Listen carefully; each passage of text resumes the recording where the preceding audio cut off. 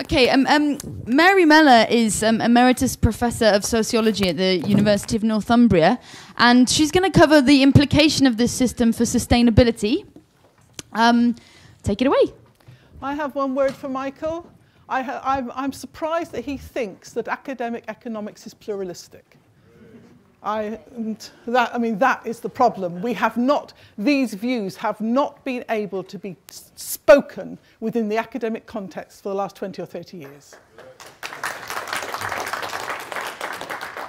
Um, this, I haven't got very much time, um, but if anybody's interested in what I do say, I've got a, a full lecture on YouTube called Bringing Economics Down to Earth which meets some of Michael's points as well.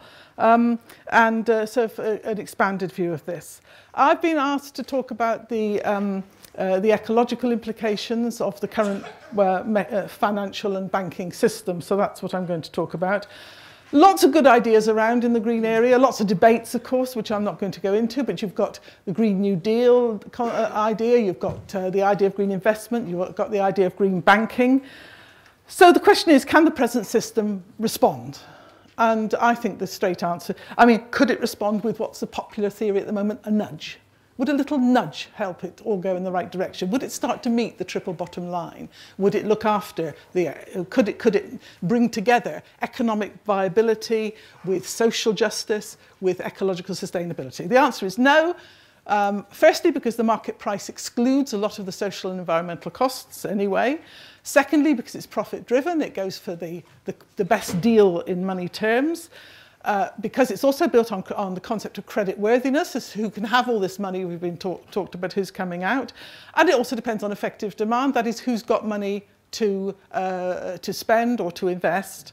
And, that, and all that is based on current existing patterns of valuing. And, and that is what we're trying to get away from. So the current system, it seems to me, cannot cannot evolve. Um, so, and we know this because green campaigners look to governments, they look to the public, they look to the NGOs, they look to social movements. They don't look to the banking system. And uh, just recently, there's an LSE report on low carbon growth, calls on the government to take the lead, um, uh, go to the other, uh, another part of the world. Uh, the U UN East Asia program, uh, together with the uh, Asian Development Bank, has uh, talking about green growth, green resilience, but admits that there is a problem with time gap with the current financial system, and that is for anything that's going to be ecologically um, sound, it's going to be a high initial input uh, in terms of uh, capital investment, and it's going to be a long-term slow bring back of returns. And, uh, uh and our system uh, works entirely the opposite. It's been going for the quickest, cheapest form of credit and leveraged investment it can possibly get with the fastest turnaround, sometimes seconds when you're, when you're in the casino world. Um, it doesn't want to wait three, four, five years for your solar panels to pay you back. Um, so uh, so the, the current system just cannot be sustainable ecologically. What you need uh, for to be sustainable ecologically is slow, patient capital. That's what you need. Specialist banks, specialist uh, equipment. So I don't think green growth or sustainable development is, is a possibility anyway. And uh, uh, uh what we need is degrowth, in fact, um, uh, coming down to sufficiency, contract and convergence. We need to talk about levelling down. That was what they always laugh at all the old socialists. Oh, you're all talking about levelling down. Yes, we do have to level down. We have to level down in our consumption. So what we need to look for is not um, maximisation, but sufficiency. Enough. How much is enough? And these are the questions we have to ask. And this must be about social justice because enough for one must mean enough for all. You can't have just enough for somebody and, and too much for somebody else or not enough. It, uh, once you've got that notion of sufficiency, I think we, we're on the right path. Um, and the current system has no basis for sufficiency, no basis for uh, ultimate provisioning security, uh, because the one thing you cannot base your security on is money. If I asked you how much bread you needed to live on when you were 80 years old, and some of us are getting pretty close to it now, um, how much bread do you need? You could tell me I, I would probably eat a loaf a week or half a loaf. If I asked you how much money you need to put aside to buy a loaf of bread when you're 80, you would never know. You would never know how much was enough. So if your society promises you enough bread when you're 80, you know what you've got. If, if your financial system, with all the, you know, put your annuities in, etc., you have no idea if your little pot of money is going to buy you bread when you're 80. Uh, so the, the, um, and we know, in fact, that money is, money is not valued in it. So this is the illusion of gold, the illusion of that hard money notion that somehow there is real value in money. Money historically, as we've been being told, is a system of trust. It's a system of entitlements. It's a system of obligations. It's a, a system of recognition of, of our contribution to society and our entitlements, our claims. This is what money is. In itself, it's nothing. It's only as good as the society in which it sits. And so it's your society that gives you your security. It can never, never be money. So that's why uh, the word economy is not helpful. I think a better word is provisioning. how will we provision ourselves when we're 80? How will we provision ourselves now? And that is everything inside and outside. So let's go to the very few slides I've got. Um, uh, to show you some slides which I think are, uh, these go way back, 1999. But what it's pointing out is that, uh, past history, um, the, how little the formal economy that hamstrings us all is. Look at it, right on the top of the iceberg there. This is meant to represent an iceberg. Capital and wage, uh, wage labour. Just very little, very little part of all of our lives. Underneath that is all the, um, uh, the invisible economy, the informal economy. Below that, there's subsistence economy. Below that, there's domestic economy. Below that, there's all the, uh, the, uh, uh, the ways that uh, our, our richer economies are sustained by the internal and external exploitation of people around the world and in your own, your own society. And then the biggest one of all, which we're talking about here, is, is nature. Or there's another one which is quite famous, which is Hazel Henderson's cake, where she has uh, the market economy, the formal economy that we're being hamstrung by, as just the icing on a cake. And then she has under that uh, the public sector. Then she has under that slightly different version. She has the cash-based informal economy, the off-the-books economy. And then she has all the social economies, the community, the household. And then she has nature. Um, I would put it another way that we have economic dualism. We have this concept of economic man who can be a woman Um, uh, the, it's, a, it's, a, it's a universal notion, really, based on market value, personal wealth, able-bodied workers, labour and intellect, exploitable resources and tradable knowledge. This is what's inside this money economy we're talking about, this banking economy, this economy that's funded. And on the other side, we have women's work, subsistence, reciprocity, the sick, the needy and the old, the, the life of the body, ecosystems, wild nature, feelings, emotions, wisdom, these are undervalued or not valued at all.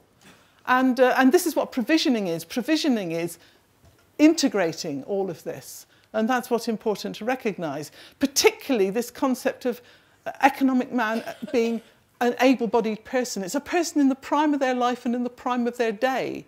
The rest of their life cycle, the rest of their needs, the rest of their sustenance, the rest of their youth and their age this, this, this formal system we're talking about doesn't want it. So how are we going to provision that? Uh, that that's, that, that's, that's the major question. And, uh, and uh, the reason that we don't value this half, the other half, is because of what I call handbag economics. And this is what really we've been under. Uh, you re you'd recognise handbag economics. We got to, we can't pay ourselves more than we earn. We've got to, we've only got so much in the kitty. Uh, and, uh, but of course, this story is being told us by the financial father figure who is the wealth creator to the public wife, wife figure who's got her little handbag with her housekeeping allowance in it. And that's all she's allowed to have. Meanwhile, the, uh, uh, the, the, the wealth earning father, financial father, is is uh, pr uh, producing and circulating as much money as he can, gambling as much money as he can, at the same time keeping the public wife and very much under control. You can't spend more than you earn. Except, of course, when he gets into trouble. When he gets into trouble, he suddenly finds that the public wife can borrow and has to borrow more and more and more and more on his behalf. Unfortunately, she has to be punished for this. So the children are made to starve on the grounds that she is wasting her money, bailing him out. I mean, this doesn't this doesn't seem to be reality, does it? This, we don't live under that sort of handbag economics, do we? Um, But, uh, and in the end, of course, when it, it, even that fails, we suddenly find that the public wife also has a magic money machine and starts to use it. But then the, the, the, the, the, the, father, uh, the, the father wealth creator says, let me have that, let me have that. Oh, you, uh, you don't know how to spend it. I can spend it. Give it to me, give it to me. And so the, the wife, the bullied wife, has to do that uh, until once more he's, he's, he's solvent again. And once he's solvent, he does what all abusive males in households do, goes back to status quo, and off we go again. And that's what we have lived under. We've lived under handbag economics. Um, and, and, and the question we have to ask, the, the big question we have to ask is a, is a, a question of democracy. By what right do these people issue money to who they issue it to? What is the, what is the basis of their legitimacy? And the answer is that basically they have none except they pretend that they really do create wealth. They pretend that they read that the money somehow pops out the world, doesn't it? It's a, it, and, and it just happens to fall into their hands. How did that happen? Um, uh, it, it's, there, is no, there is no moral obligation. If I'm rich, it's because I must deserve it. So it's having the money that makes you justified. You're not justified and then you get the money. So those who hold the money claim the moral high ground. And the poor public wife who sustains the whole thing. And we know the public wife sustains the whole thing because it's the public wife who had to bail it all out. We know the whole thing hangs together and there's no real private in the, in, in the financial father's world because when Lehman's went down, which was supposed to be a private bank, it nearly took everything else down with it. We know how interconnected it all is. Um, uh, so, so we know we know that when Northern Rock went down, um, Adam Applegarth tried to quell everybody, didn't work. Um, uh, um, uh, um, uh, uh, what's he called? Uh, King uh, tried to do it, nobody listened. It's only when Alistair Darling came out and put the public behind it that the, the, the, the, the, lines went away. We know with IceSave, which was not even a, a British bank. Where did they go when that failed? Straight to the government, give us our money back. The public know it's public money. Why would they get, if your car breaks down, you don't go to the government. You don't say, hey, look, my, my stupid Icelandic car's broken down. Sort it. You don't do that. But this stupid Icelandic banks went down, and you go, don't go to Iceland. No, shh, straight to the public know it's public money. The public know it's a public resource. The public know only the public hold it up. And those public are, are, are, are the investors as well. I mean, the investors in this case are the public. They're, they're, they're no, no, no separate. So um, this debt-based money economy, as we had explained, there's never enough. There's no basis for sufficiency. So let's go back. In fact, it's so inefficient. You have a two-step instead of a one-step economy, don't you? You have to earn money to live. So what do you earn money at? Well, anything that will pay you well. So there's no democratic choice really about where you work with uh, maybe for some be better educated, better off, but for most people, they work where they can to buy the goods and services they really need. That's a two-step economy. That's in, why not a one-step economy? Why, do, why can't people be doing the things they want to do for the things they actually need? So they're, they're working where they are. So let's, uh, but uh, I think the one thing that handbag economics does point us to is it's, in a way it's looking in the right place. It's looking to the women because it's handbag economics. And there is a whole other field in the household that women know about. I don't know how many men know about them, but probably a lot of you do, because there is a whole economy that goes within the household that many women are involved in their life, and this is the babysitting circle. Many of you will have been in babysitting circles.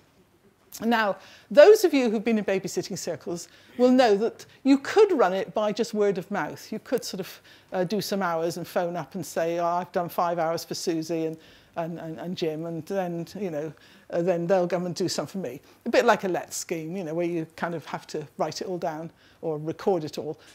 That's quite difficult to run. Even a small babysitting circle, 10 people in a babysitting circle, what will they do?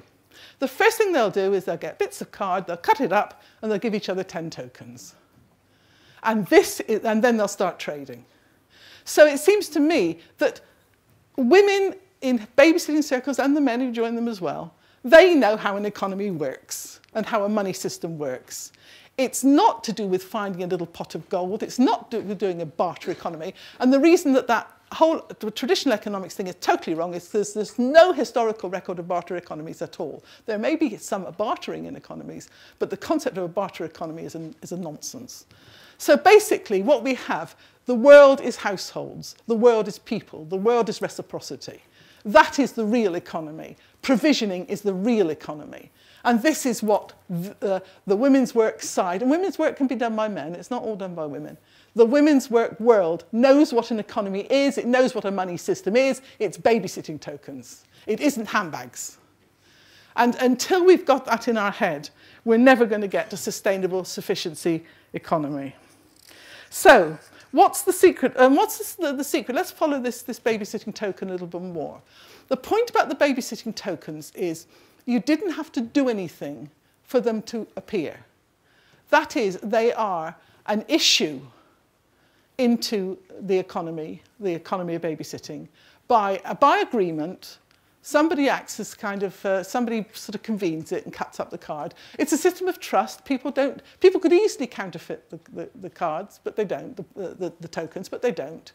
Um, it is not even terribly important if you collect in the tokens from people who leave the babysitting circle because exactly how many tokens there are isn't the issue.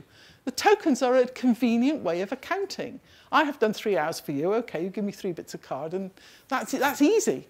So we understand that money is an accounting system. It's a system of trust. We don't duplicate it. It, the, it doesn't, the money doesn't matter. The point is you are a babysitting circle who help each other out and you have needs, which is for babysitting, and you, and, uh, you might have tons of the tokens, but somebody asks you to babysit. You don't say, no, I've got tons of tokens. No, you say, yes, you need to go out. I'll come and babysit for you. Because it's a system of provisioning. That is the, that is the starting point. It's not a, a position about money and then some. It's about doing what needs to be done and then accounting for it. And, uh, and, and that's what needs to be done. And the other thing about um, a money system, which uh, was being pointed out this morning, is at somewhere in the money system you must have a, an issuer who does not reclaim all they issue. Because this is the problem with the debt-based system. It wants it all back and more. And where the more comes from is a, is a mute point. I mean, there are debates about whether it can be taken out of the system or not, and uh, that gets esoteric. But, but the point is that, um, that the, you, in the end, you have to have money that is free of debt. The babysitting tokens are free of debt. Nobody is obliged for anything through being given 10 tokens. So, so you, the point about money is it must be free of debt at the point of issue.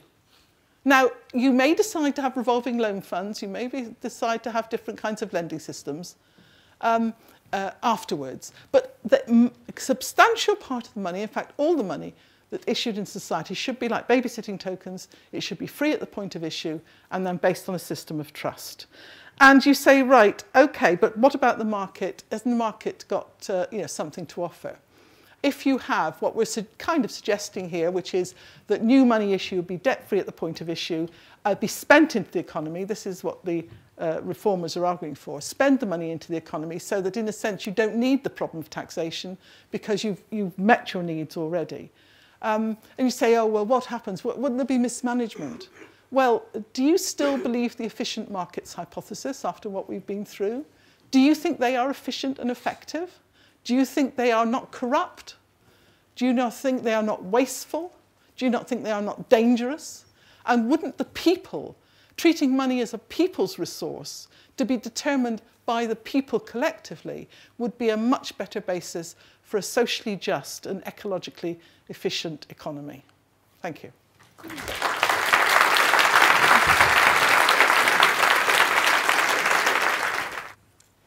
Hi, I really like the babysitting token idea. And being in a babysitting circle myself, I'm aware what happens when there isn't enough babysitting tokens in the system. Mm. It's really, really hard to get other people to babysit for you or to offer to babysit for other people because people start hoarding their tokens. So obviously, I think that the amount of babysitting tokens in the system really matters. You need to have enough tokens that people um, are going out and doing that economic activity or the useful activity of babysitting. And but the good thing about babysitting tokens is you don't want to store them. They're not a store of value, so you don't just sit on them. You don't go, oh, I've got 20, I'm going to start taking it out of the system and sitting on it. So somebody has to keep issuing it. You only need to issue new tokens when more people come into this yeah. into the circle or if someone has lost them. Yeah. But it is a great analogy. Thank you. I think you've made the case against austerity there. okay. Oh, thanks. Um, I have two questions. How would one create a climate of innovation in which there are multiple innovations that would take us toward a degrowth economy, an economy which offered high quality of life without the enormous destruction of the environment that we witness at the moment. The second question is this process of moving toward centralized command and control economies which depend on hierarchy, which is embedded in the creation of endless useless work, has been going on for thousands of years. It is not a new thing. How is one to understand this network of social forces that push us inevitably in the direction of hierarchy and the creation of senseless work, which is destroying our habitat? Mm. Any, anybody else, or shall I get Mary to answer those? Well, I think uh, uh my answer would be that you've got to get people out of this two, two-step economy where they have to work at what they don't want to work at. And I think we historically we know that the, the idea of all money emerging in the trade system, which is the old gold barter thing, there may be some elements in that, but, but it's only a, a tiny bit of the story. The big history of money is money being uh, socially or politically constructed uh, thing. And I think that surely we have the chance now, now that we are democratic societies and not top-down um, uh, Alexander the Great sort of societies or the Roman society or whatever, um, uh, the, the, the great hierarchical societies, do we not have the opportunity now to recognize the money system as a collective system which we uphold? It's a social and a political system. It's not an economic system? And don't we, could we use our democracy, which we have now, to trust ourselves, to issue the money to ourselves? Don't we trust people to want, don't need the money? What, why, why do we assume people need the money motivation to be innovative, to be creative, um, to be resourceful? Uh, uh so surely this is the twisted logic of the society we live in. So it seems to me that we have an opportunity now, if we understand how money systems works, that they're, they're babysitting tokens, not handbags. If we can understand that, and if we can trust ourselves and collectively um, uh, debate among ourselves the best way to organise our society, which may have strong elements of private, uh, private innovation. Um, there's no reason to exclude it altogether, but it needs to see itself as part of the mix and not the determinant factor. I think we, we, we, need, we need some confidence in ourselves. And once we've got confidence in ourselves, then I think people will be able to build from the bottom up. And I don't think the money, if the money system does come publicly, I don't think it has to come in a top-down way. I think it could come in local investment banks, local development banks, specialist, uh, specialist um, uh, lending systems or grant awarding systems. Um, which, uh, which would enable uh, people to get much more control of their local economy. So I think we have, a, a, we have shown by the failure of this system that all money in the end is publicly underpinned. It's a public responsibility. Therefore, it should be a public resource. Therefore, it should be a public right. And I think once we understand that, then we can start to reclaim our wider economy for ourselves. Thank you so much, Mary. Um, okay, um, by the way, I'm giving very short introductions, and that's because I spent all weekend making this program for you with nice long profiles on each um, speaker. So do um, consult with that if you feel I haven't given enough information. By the way, Mary's written a great book called The Future of Money, and unfortunately we don't have any copies here, but you can look for it online. I am so uncommercial that I don't. I, I tell you, that's true. I, uh, my partner's in the audience and says, "You never tell people what you're doing. You never tell people." Uh, Great. Okay, so mind. I'm unworldly. I'm not rewarded by money. so um, next